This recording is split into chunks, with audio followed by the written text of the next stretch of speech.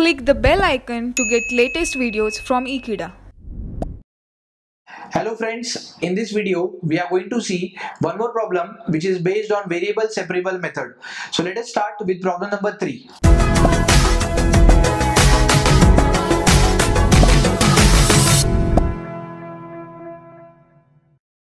We have e raised to y dy by dx is equal to x square.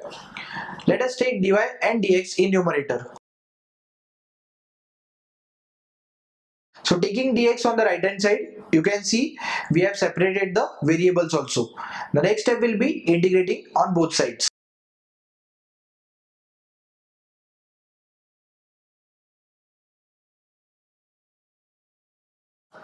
So we have integral e raised to y dy is equal to integral x square dx.